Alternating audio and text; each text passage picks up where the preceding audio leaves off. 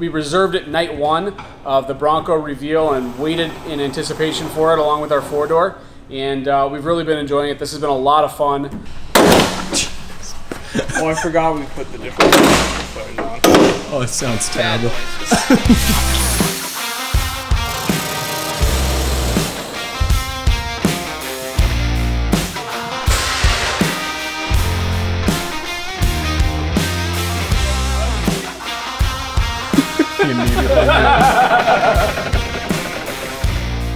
Welcome back to Building BuiltRight. As you can see, I am standing over the hood of our 2021 Bronco. This is our two-door Big Bend six-speed manual Bronco with the 2.3 in it.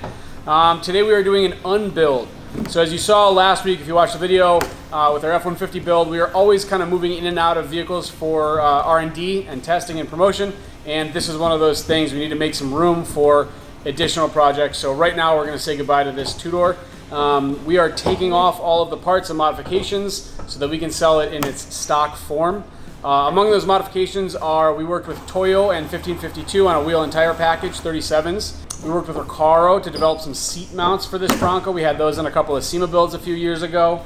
Um, this is one of those vehicles that we we reserved it night one of the Bronco reveal and waited in anticipation for it along with our four door and uh, we've really been enjoying it. This has been a lot of fun.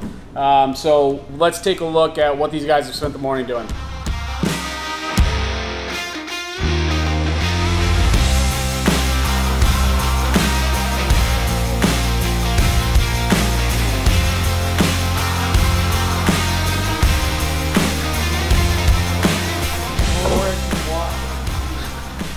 Are these 37s? You almost just got clapped in the chin.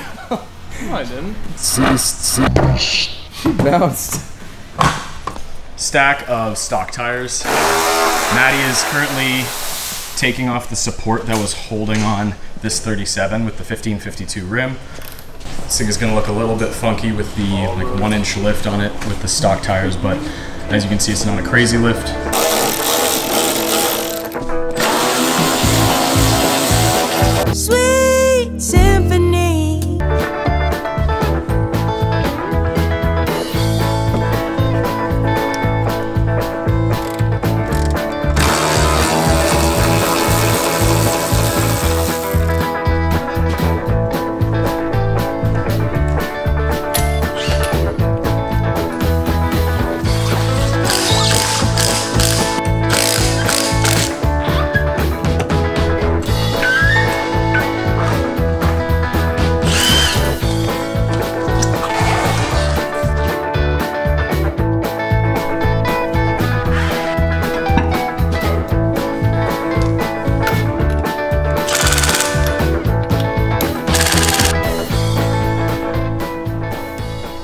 With these fenders,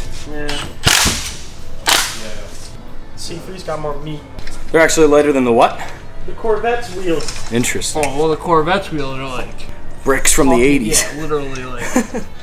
Someone was like, how can we make this heavier? Rotational mass, you know, we gotta make sure this thing keeps rolling. we need those things for so fucking weak. Give them momentum so they go the rest of the way.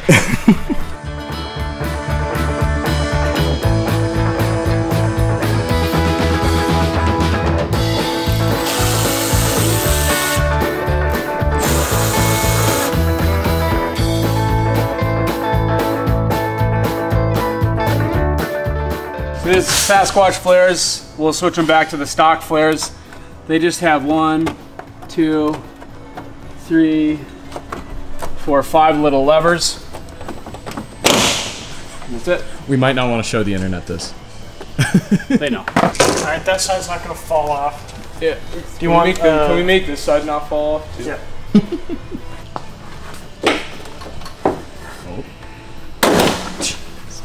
Oh, I forgot we put the different microphones on. Oh, it sounds terrible. oh, that's scary.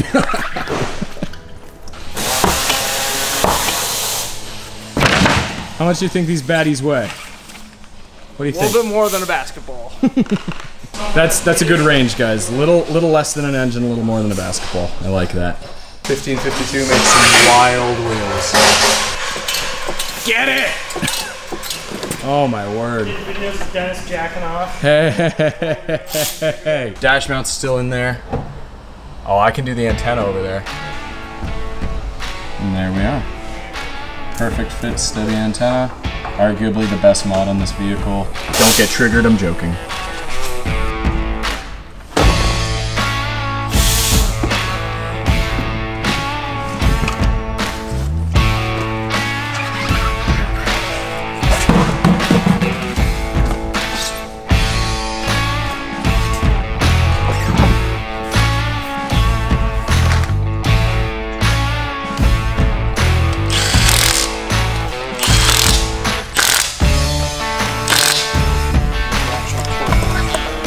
We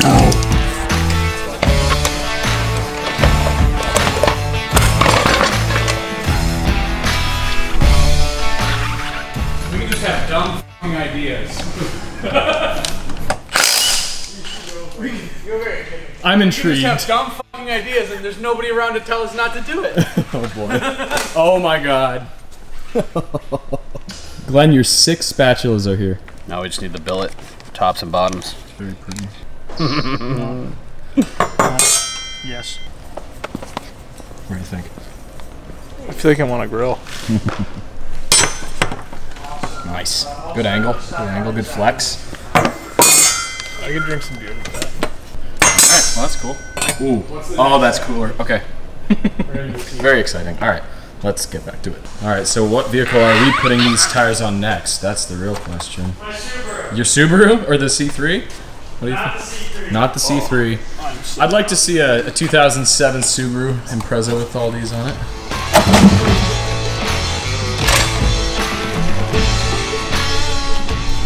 Honestly, without the fenders and the stock tires, it Looks could like be a worse. 90s Jeep. Yeah, The tiny wheels and the giant fenders. could be worse. I like it. Kind of funky with that lift, but it's not bad.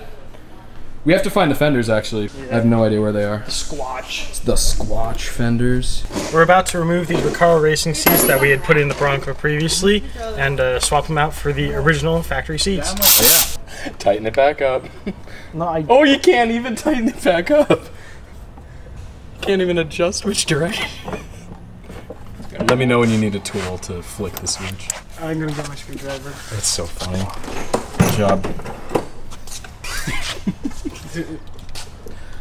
You know, I tried to warn him. No, you didn't.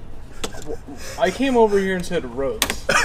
That's You were like, a what? Er."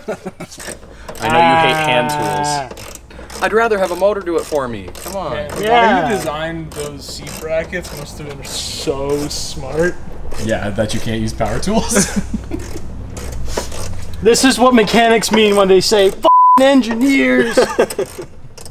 Dennis somewhere is clapping in agreement. yeah. Found the whip antenna.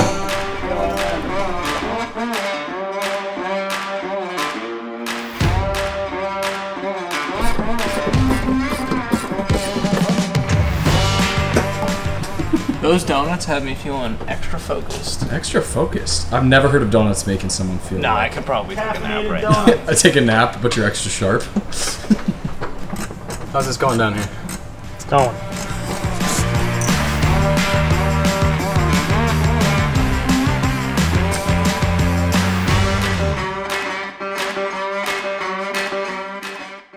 I thought the seatbelts were independent on this car, Oh, really? so these actually are a safety feature.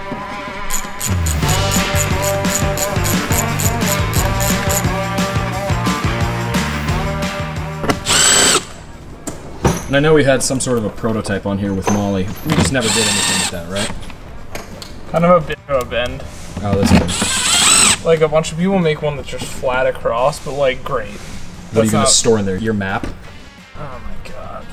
If you guys didn't get a chance to see our full seatback MOLLE product overview and product breakdown, check it out. It's from a few videos back a few weeks ago, but we set it up on this Bronco seat so you guys can see how we bolt into the seat frame and why our seatback MOLLE solution is the most rigid uh, one out there. So, yeah, that's what Rhodes is about to disassemble, and then we'll get this guy in the truck, and she'll be back to stock. Nice.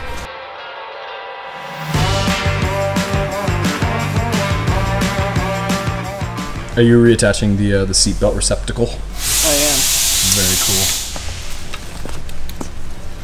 I'm trying to figure out uh, exactly where all these wires are supposed to go. What do you mean? We know exactly where all this stuff is supposed to go. While Rhodes is getting that seat back MOLLE panel off, Matty is putting in this passenger seat. Completely contorted. Get my fingers in the wrong spots.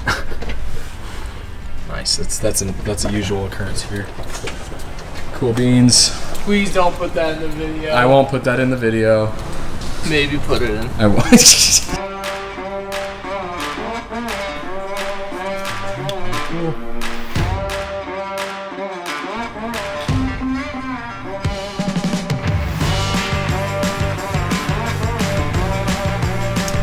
That's my right. Ain't going nowhere. Matt was able to find the stock fenders.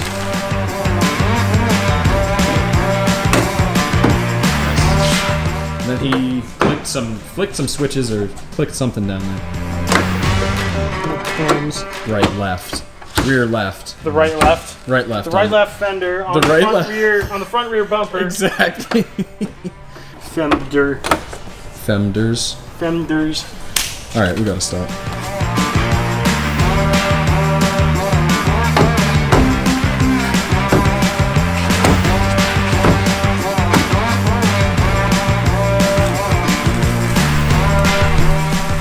We had taken out the back seats just to increase the storage space, and so that we can have the uh, the cargo panels, the cargo MOLLE panels mounted with easy access for, for install guides, what have you. So these little posts are what are locating our back seat, and so now we have uncovered them and about to throw them in. And then this is the graveyard of parts. I mean, we've got the two Recaro race seats, Sasquatch fenders, got the MOLLE panels with the ARB compressor, and then the giant 37s. Dude, I'm so fucking sweaty. You ready to be done with this thing? One and two. Going in. Done. Done. it looks nice like it's just a few bolts. I know it looks like just a few, but it's taken a minute for sure. And there's a lot of alignment that has to happen, and so it's looking very good. The truck is almost back to stock fully.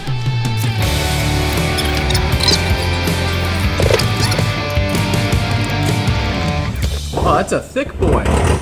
Man. We're taking off the uh, the roof panels just quickly because we have this awesome net in here that kept a lot of wind out when you're driving down the highway. So that will be uh, removed in a second. Feels like we've been taking parts off of this thing for a good five hours. It's only been a few, but but yeah, we now have the screen from inside the roof fully removed.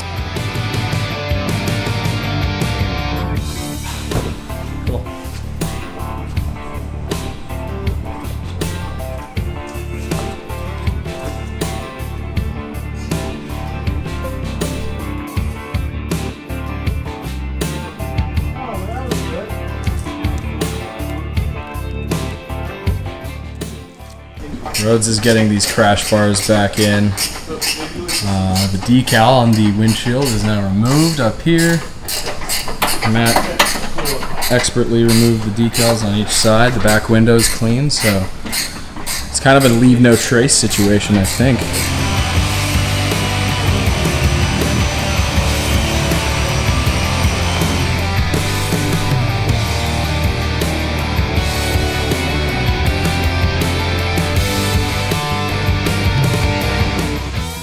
Right, so that is what we've got for you this week. Our two-door Bronco is back to totally stock. We took off our dash mount, our MOLLE panels, the Recaro seats, wheels, tires, uh, peeled the vinyl off of it, uh, license plate relocation kit.